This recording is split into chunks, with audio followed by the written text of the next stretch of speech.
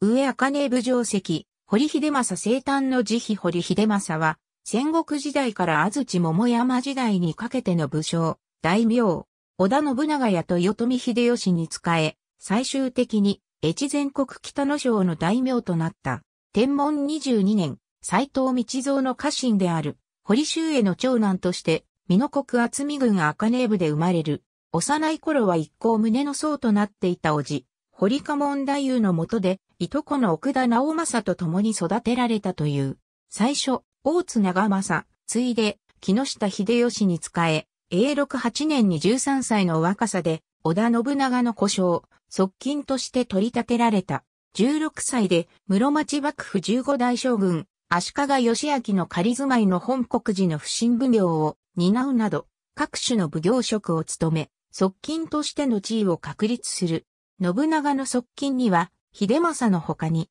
関谷、長頼、福富秀勝、大津長政、矢部家貞、長谷川修一、万美重元らがいる。秀政は、次第に奉行職だけでなく戦場でも活躍するようになる。織田軍の主要な合戦である天正3年の越前、一向一騎討伐に参加。天正5年の紀伊祭下討伐戦では信長、本陣から離れ、佐久間信盛、橋場秀吉らと共に一体を率いる。翌年の有岡城の戦いでは、万美、関谷らと鉄砲隊を率いる。天正7年の安土修論の時間や、長谷川らと奉行を務める。翌、天正8年、バテレン屋敷の造営奉行を、関谷、長谷川らと務める。同年、信長の八須賀正勝宛ての書状に添え状を出す、などがある。また、叔父である、蓮寺氏自住職に育てられた関係で、本願寺との交渉にあたり、石山本願寺との和睦と、奇襲先森への退場を促し、交渉に奮闘していたことも想像される。後に秀政は、本願寺権女から、釈、道鉄の法名をいただいている。天正9年の第二次天正伊賀の乱において、死柄木口からの部隊を率い、肘山城の戦いなどを戦い抜いている。この功績並びに、荒木村重討伐、越前一行総制圧の功績により、この年、織田信長から長浜城主2万5千石を与えられた。天正10年の甲州征伐では信長に従って、甲信に入るが、すでに織田信忠が武田氏を滅ぼした後だったため戦闘には参加しなかった。本能寺の変の直前には、明智光秀が徳川家康の接待役を外された後、庭長秀と共にこれを務めており、この接待を終えた後、備中の秀吉の下へ向かっている。天正10年6月2日に本能寺の変が起こって信長が死去した時、秀政は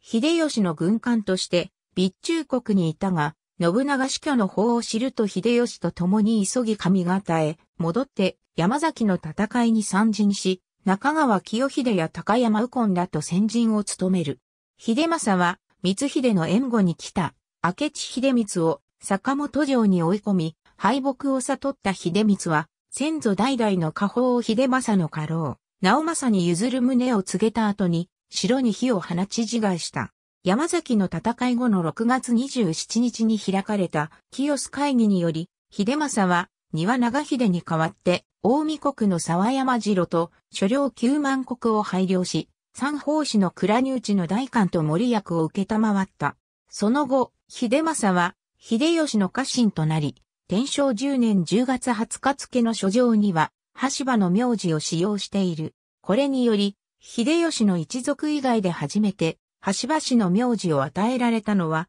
秀政であったと考えられている。天正11年4月、秀吉は、越前北野省の柴田勝家を攻めた。家康が秀吉に宛てた書状には、はたまた、九太郎方取りで、柴田取かかり公のところ、すなわち合戦に及び、切り崩され、あまた打ち取られそうらえば、定めて比類なき義、心地よく候、うんうんと秀政の軍功を褒めている。戦後、受護位した左衛門忠に除任。いとこの六右衛門が一行、総連寺氏自住職となっていた関係で、本願寺方との交渉をも受け持った。天正12年の小牧、長久手の戦いでは、味方の軍は大敗を喫したが、自軍を三点に分け、余生を買った家康法の大菅康隆や榊原康政らを待ち伏せし、攻撃して敗走させた。その後、家康本体とは戦わず退却する。天正13年に、秀吉が関白になると、秀政は14位した自重権左衛門の正に除任。同年の奇襲征伐や四国平定戦による軍港により、庭長秀の医療越全国北の省に18万石を与えられた。より期に、加賀小松の村上義明、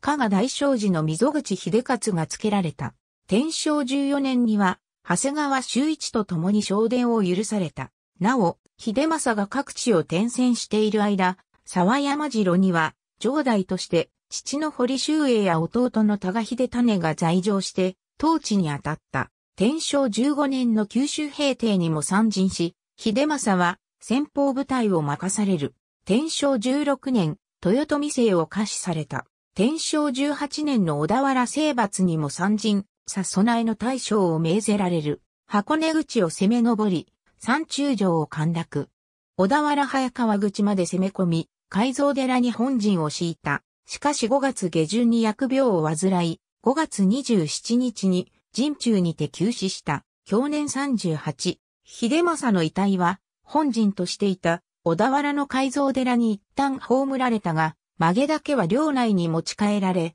越前国北の省の館近くの長慶寺に墓が建てられた。長慶寺に位牌と墓所の一つが伝わり、同時では毎年5月27日に供養祭が行われている。また、家督を継いだ長男の修士が、慶長3年4月に、越後国春日山に天保となった際には、春日山城の山麓にある臨泉寺に改装される。臨泉寺には秀政だけでなく父、修十と長男、修二の墓も建てられ、堀家三代の菩提寺となった。ありがとうございます。